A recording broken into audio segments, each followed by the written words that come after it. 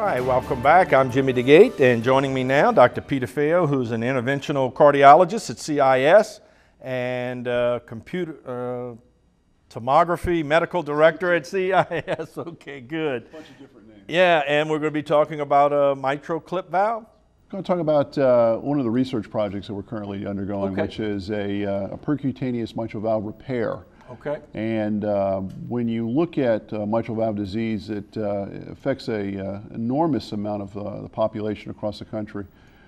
The two basic forms are those people who have a degenerative valve disease where basically the valve itself is, is defective, and then there's a functional valve disease where somebody's had a heart attack and the, the heart stretches, and as the heart stretches, it makes the valve incompetent. Um, up until recently, the way to fix that was going to be open heart surgery, and, and it still is the, the, the gold standard. And we've been fortunate enough to be part of a research trial uh, that looked at trying to do this in a uh, less invasive way uh, called the Evalve mitral clip.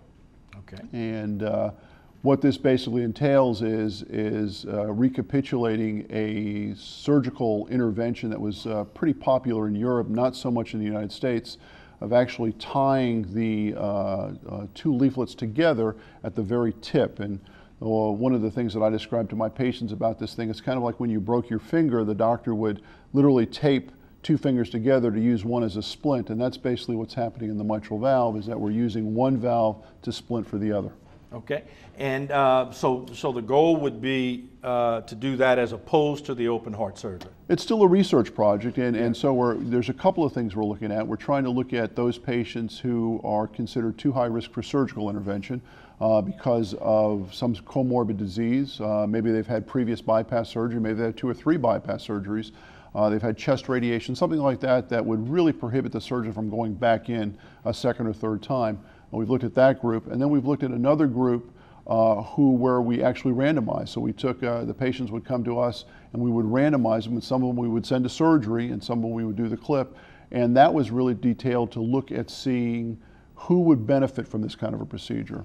Uh, this uh, trial was reported at the ACC uh, just recently uh, here and showed that there was a substantial um, decrease in complication rates uh, with this type of procedure. The efficacy, however, was not that of surgery, and that's kind of what we would expect. Uh, so what we're what we're buying here, so to speak, for a decreased uh, effectiveness is a higher safety profile. Okay. Uh, I tell you what, uh, do you have a video or something? I think you... we have a couple of videos here. Okay, good. Let's see if we can uh, get to those, and maybe you can tell us what we're looking at. Right here, we're just we're looking at an illustration of what mitral regurgitation uh, would be, and this is uh, if you look here where the blue is going up, that's not supposed to be going there. Uh, the the flow here going to the right side would be the aortic valve. The flow going straight up would be the mitral valve. I think the next clip actually shows a procedure, or actually uh, this is an angiogram of uh, a patient that got done previously. So you can look at here, and you'll see going to the right side, you see this huge amount of dye here, and this is the left atrium that fills up. And this is this is previous before the surgery or before the clip. And then after the clip, we have one clip. You can see it sitting there right there. And now you see on the right side of the screen, virtually no regurgitation whatsoever. And this is a, this is a representative of what we see a lot of times in these kind of cases. We have one. Uh, I think we have one more. Yeah, this is actually a, a cartoon, if you will, of what the procedure entails. So this is actually coming through the septum, and this is what the device looks like. And it kind of looks like what I what I uh, told my patients, kind of like a very very fancy clothespin. Uh, basically, you're allowed to get into the atrium. This is done under an echocardiogram. We basically have a tube in the throat, and we do a TEE. Uh, we have the mitral valve. We're able to sort of maneuver it, which is, uh, uh, it looks a little easier than it actually occurs here. This clip then opens up. Uh, we're able to rotate it to make sure that we're aligned properly. Once we're happy with this, we can see and rotate it either way to make sure that we, we like the alignment. And these are some of the things that we learned uh, during this procedure was how to align this thing properly and, and uh, how much uh, accuracy we needed to be, how much we didn't need to be, et cetera. This clip is then pushed into the left ventricle like so. Uh, we are seeing the jet, it comes up, uh, it actually grabs the uh, leaflet. Now in this case, it didn't get a very good thing, and what's nice about that is that you can actually let go, reposition your, your clip a little bit, re-grab again, try a second time, a third time, a fourth time, and in this case you can see that the mitral regurgitation uh, is gone. Uh, at which point you're happy with what you do, uh, you can release the clip. In the trial, we were allowed to add a second clip if necessary, and so in, in a handful of patients, they actually have two clips. Now, how long is this trial uh, ongoing? It's, it's continuing to go as we speak. So there is still there is still a, it is still a research project. Uh, it's still uh, something that's being uh, monitored by the FDA and by uh, Abbott Medical, who's the sponsoring company of this.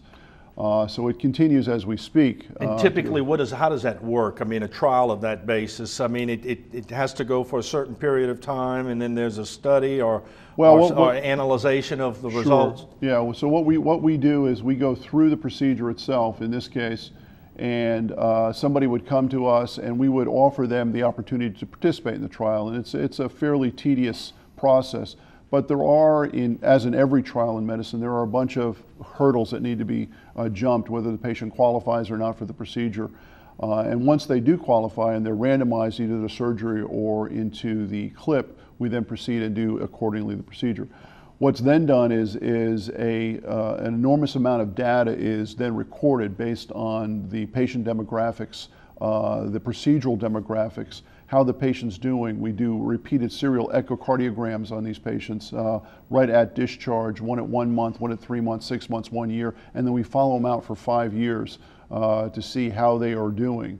Uh, the very first clip we put in was now coming approaching its fourth year now, uh, and we're able to see how he has progressed uh, very nicely uh, over the past four years. Very interesting. I tell you what, why don't we do this? We're going to take a break. When we come back, we're going to continue our discussion with Dr. Peter Fail, and uh, we'll have some more of his comments on this most interesting procedure.